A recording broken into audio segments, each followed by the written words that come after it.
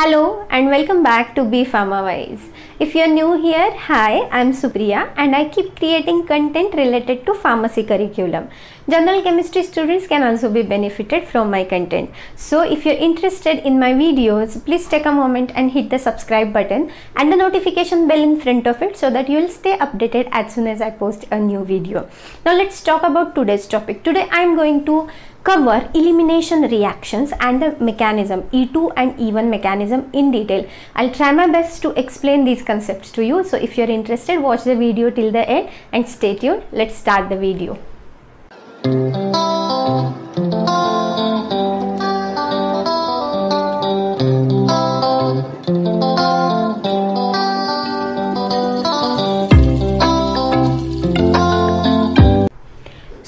Basically elimination reactions are reverse of addition reactions okay? If you want to know more about addition reactions i have already covered this uh, part under markovnikov's uh, rule and the video you'll link the link you'll find in the description box or in on the i button. I'll put it. So go and check it out. But today we will discuss about elimination which is the exact reverse of addition reactions. Now what are elimination reactions? Suppose uh, from a substrate you take out certain atoms or group of atoms from the adjacent carbons okay then that reaction will be called as elimination reactions this leads to formation of multiple bonds means either a double bond will be formed or a triple bond will be formed depending on how many atoms you are removing but basically you are uh, going to remove atoms or group of atoms from the adjacent carbons and it will give rise to a double bond or a triple bond. So this reaction is basically called as elimination reactions. Now this elimination reaction can occur or proceed by two ways. It is uh, first is E2 mechanism and one e, second is E1 mechanism. So uh, we will discuss how this mechanism works but first let's take an example and see how the reaction happens okay? So i'll take an example of dehydrohalogenation of alkyl halides in presence of alcoholic alkalis. I'll give you an um, example. First dehydrohalogenation means what? D is to remove hydro is for hydrogen and halogen is for halogen. So if you are going to remove hx from the alkyl halide now alkyl halide is nothing but rx huh? rx so if you are going to remove hx from alkyl halides it will be called as dehydrohalogenation of alkyl halides now this reaction generally happens in presence of alcoholic alkalis like alcoholic KOH or alcoholic NaOH which supplies you the nucleophile which is OH minus ion hydroxyl ion. So let's discuss how the reaction happens. For example R CH2 CH2X this is your alkyl halide any alkyl halide for that matter. Then what you are going to do is your halogen is on this carbon. I will write it like this for simplification okay? This halogen is on this carbon and one of the hydrogen from this carbon. So this carbon is called as alpha carbon this carbon is called as beta carbon. And if you are removing this hx from the adjacent carbons then in presence of of course the nucleophile then what you will get is a double bond here. So you will get RCH double bond CH2 the hydrogen removed will form a water molecule with your nucleophile and this nucleophile will be separated. So this is the general reaction for dehydrohalogenation of alkyl halides. Now this reaction can be um, proceed or can proceed in two ways one way is by E2 mechanism, another way is by E1 mechanism. Depending on the substrate, you have to choose the mechanism mm, or the mechanism proceeds depending on the substrate. Now we will discuss E2 and E1 mechanism in detail. Okay, as the name suggests, E2 is bimolecular elimination and as opposed to that E1 is unimolecular elimination. Now bimolecular elimination means the reaction is of a second order kinetics and the rate of reaction will depend on two factors concentration of substrate and concentration of nucleophile both. Okay but as opposed to that E1 will be unimolecular elimination. It will be of first order kinetics. And the rate will depend only on one particular uh, parameter that is the concentration of substrate. Talking about examples dehydrohalogenation of primary alkyl halides will fall under E2 tertiary alkyl halides will fall under E1 okay? So I'll take an example of N propyl bromide. And I'll show you how the dehydrohalogenation proceeds via E2 mechanism here okay? So uh, let me first write N propyl bromide. 1 2 3 bromine will be on the first carbon CH3 CHH just for simplification CH2. This is nothing but N-propyl bromide CH3 CH2 CH2 Br. Okay. Now as you can see here, this is your alpha carbon, this is your beta carbon. On alpha carbon there is halogen, on beta carbon there is one hydrogen attached to it. And this HBr we are planning to remove from the N-propyl bromide and this will give rise to a double bond here okay as per the general reaction. Now let's see how this happens as per the E2 mechanism. Now E2 mechanism is a second order kinetics. It, the rate depends on both. But the most basic thing you need to remember about E2 is it is a one step process. It is a one step process single step process. Now what is going to happen in that single step is abstraction of proton from the beta carbon and re, uh, removal of halogen from the alpha carbon will occur simultaneously. Now see how this happens. I will write this hydrogen like this okay and I, I'll write this bromine like this okay. Now the OH minus nucleophile whose concentration also matters in the reaction. If it is in higher concentrations then it will come and abstract the beta uh, sorry proton from the beta carbon. Now this is a beta carbon so it is having a proton and this OH minus will come and abstract this proton from the beta carbon now I am saying proton means H plus will go with the OH minus not the electrons so these electrons will be retained on this carbon and now this carbon has two extra electrons now what is the case with this carbon see this carbon is attached to bromine which is a halogen which is very high in electronegativity. What is electronegativity? It is a tendency or capacity of an atom to attract the shared pair of electron towards itself. So bromine is highly electronegative than carbon. So these two electrons will not be equally shared between carbon and bromine. They will be more towards the bromine side. So carbon is already partially positive. Okay. Now this partially positive carbon immediately sees an opportunity to form a new bond with the carbon on this side using these two electrons.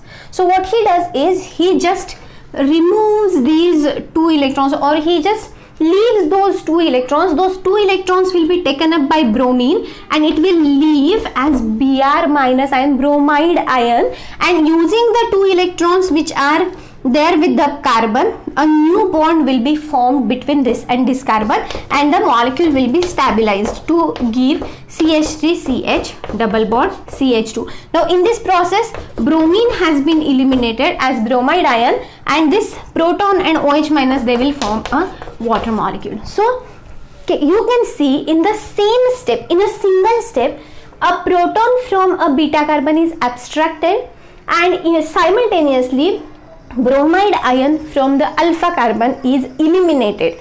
And this gives rise to a double bond between alpha and beta carbon or the adjacent carbons from which the atoms or groups of atoms are being removed. Okay so this is what E2 mechanism is.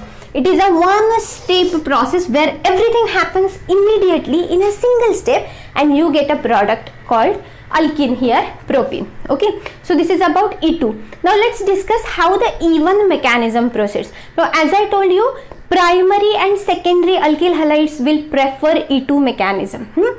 uh, but for tertiary alkyl halides as in tertiary alkyl halides there is a lot of steric hindrance. There are uh, multiple alkyl groups attached to the uh, carbons okay? So there is a there is a hindrance. So your nucleophiles cannot directly go and attack on any of the carbons there. So it will take some time. It has a different mechanism. It will proceed by two uh, steps. In the first step a carbocation will be formed and in the next step the elimination will uh, be occurring okay? So we will now discuss how the E1 mechanism proceeds so now let's discuss E1 mechanism.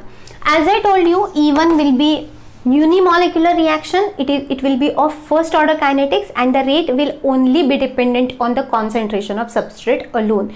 So here I'll take an example of dehydrohalogenation of tertiary alkyl halide. We will take an example of tertiary butyl bromide. So how you will write 1, 2, 3, 4 bromide. Okay, CH3, CH3, CH3 CBr. This is nothing but tertiary butyl bromide. Now, as the molecule you can see there are a lot many alkyl groups so there is a lot of steric hindrance. So your nucleophile which is uh, in lesser quantities cannot go and directly abstract the protons from the carbons so what uh, it does is it undergoes ionization first. So in step number one your tertiary butyl bromide will undergo ionization. So where it will undergo ionization? Obviously at this bond because the bromine is highly electronegative. So it will draw both the electrons towards itself and it will be removed as bromide ion and your carbon will be left with no electrons. So it will be positively charged and it will give you carbocation. Now carbocation you know the carbon is in sp2 hybridization. So all the molecules will rearrange themselves to fit in one plane. So what you will get is this.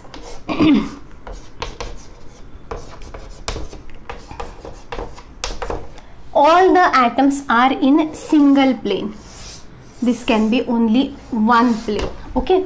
Now your nucleophile OH minus will come and attack on the carbocation and abstract the proton from the beta carbon. So in step number 2 your OH minus will go and abstract one of the protons from the beta carbon. I will write it here.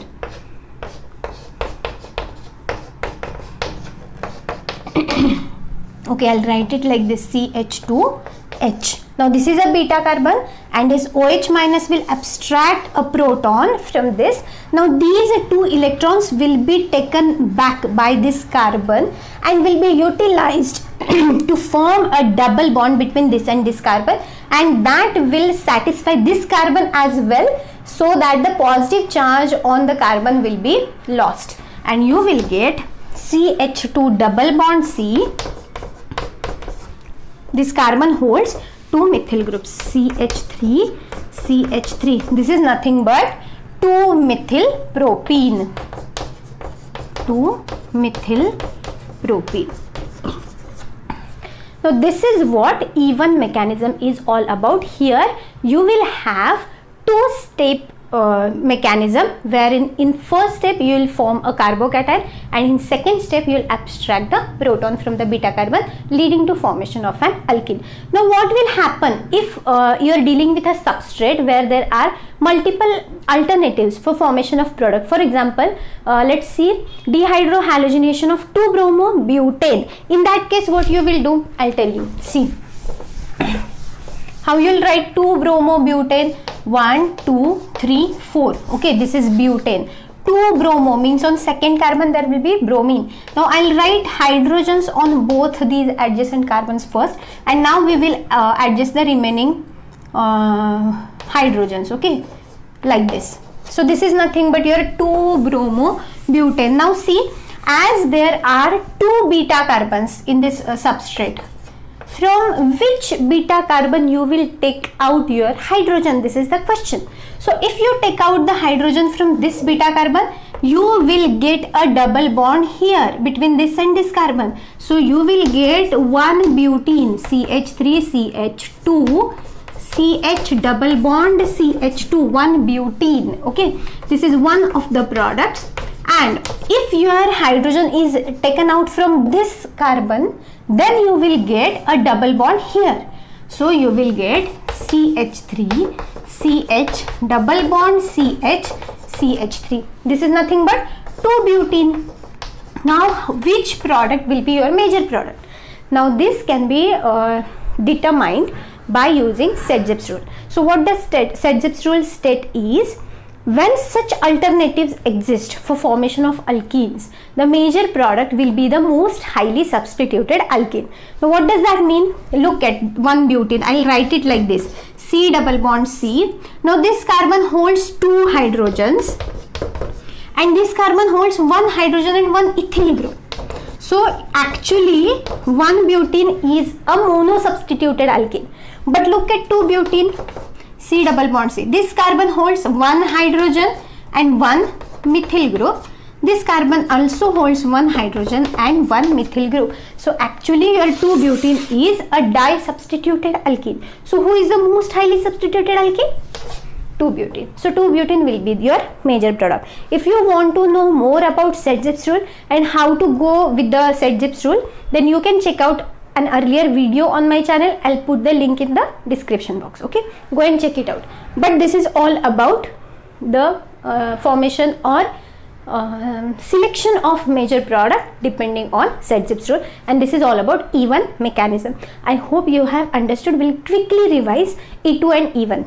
So first Elimination reactions are reverse of addition reactions. Here you take out atoms or group of atoms from the adjacent carbons forming multiple bonds between them. This can proceed by two mechanisms E2 and E1. E2 is bimolecular, rate will be dependent on the concentration of substrate as well as nucleophile. It will be a one step process, abstraction of proton and removal of your um, chloride ion or halide ion will take place simultaneously. As opposed to that in E1 it will be a two step process. In first step you will form a carbocation. In the second step your nucleophile will attack and abstract the proton from the beta carbon giving you an end product of alkene in both the cases. I hope you understand. If yes, don't forget to hit the like button and don't don't don't forget to share this video with your friends who are studying the same topic or you think they may be benefited from the content. Thank you so much for watching. Take care. Bye.